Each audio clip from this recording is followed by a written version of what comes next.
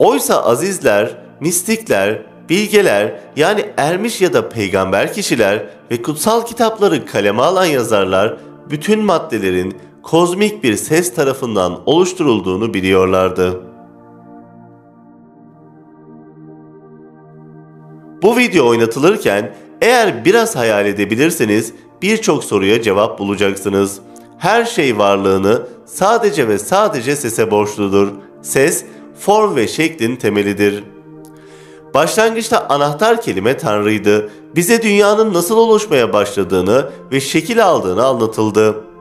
Eğer bunu modern bir hale getirirsek ve uzayın o uçsuz boşluğuna söylersek ses ve madde şekillenir.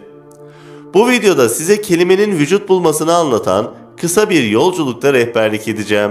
Videonun sonunda her şeyin kelimelerden oluştuğunu anlayacaksınız ki o da hayatı ve maddeyi yayan kozmik bir sestir. Bu nedenle videomuzu sonuna kadar izleyin.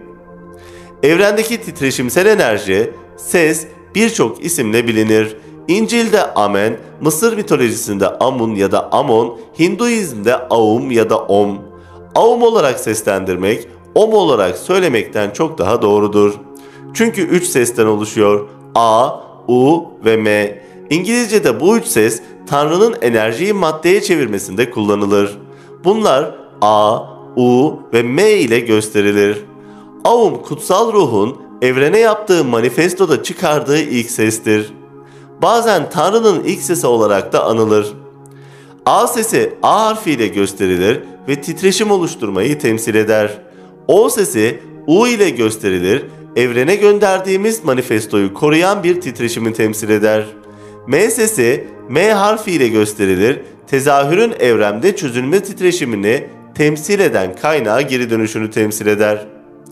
Kaynak da Tanrı'dır, yani evrenin yaratıcısı. Bütün maddeler aum ile tezahür edilir, kelime olarak bilinir. Kutsal ruhun enerjiyi maddeye çevirmesini sağlayan güçtür.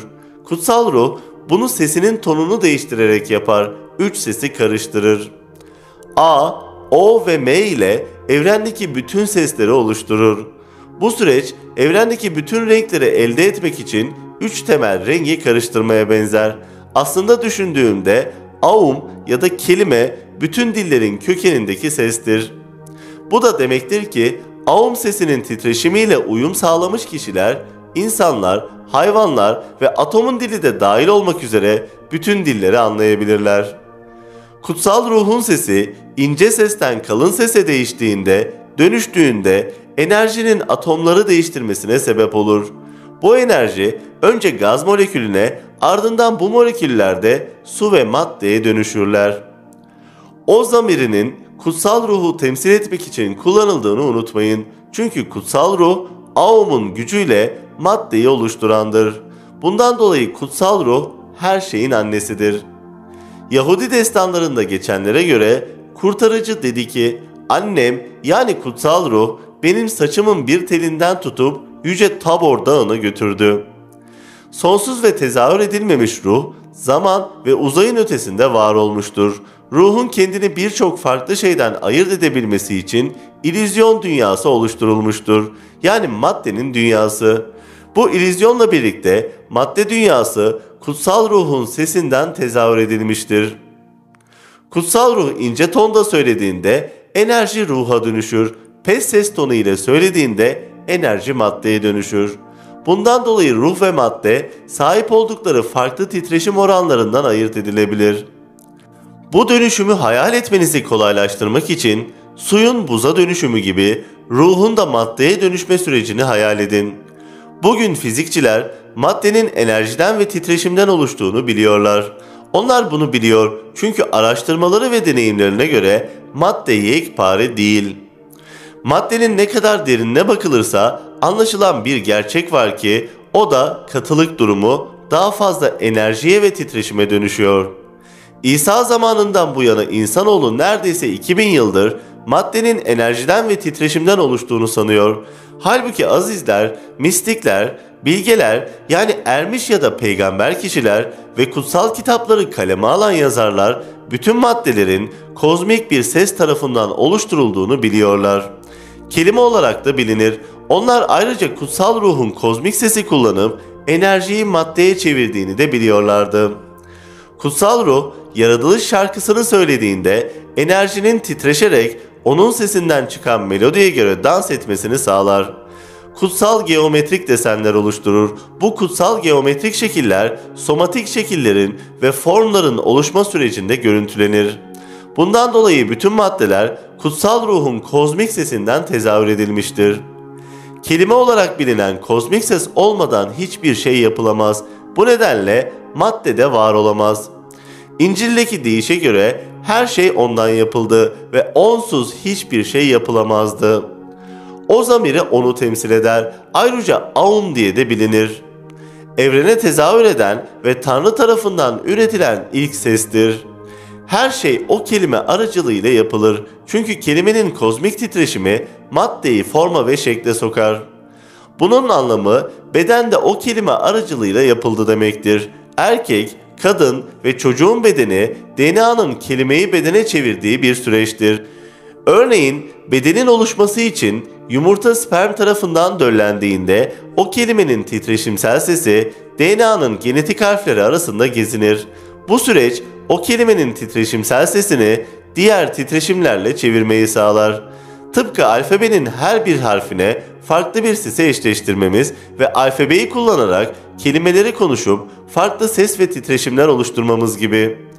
Daha derin seviyede harfler ve kelimeler düşünce ve duygu gibi akıllı enerjinin yönlendiricisidir ve birbirimizle iletişim kurmamızı sağlar.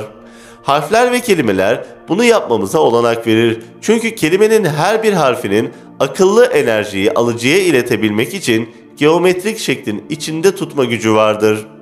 Unutmamalı ki harfler farklı boyutlarda da var olabilirler. Örneğin hücresel boyutta vücudun her bir hücresinde genetik harfler bulunur. Bu genetik harfler alfabenin harflerine benzerler.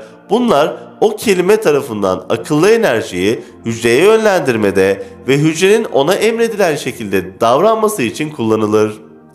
Kelimenin komutları olmadan zigot yani döllenmiş yumurta fetüs içinde büyüyemez.